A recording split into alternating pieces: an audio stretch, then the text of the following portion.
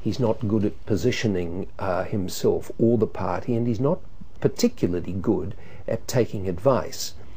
But his problem that he currently has is compounded by the fact that uh, he's had no hand in choosing the caucus that he currently heads.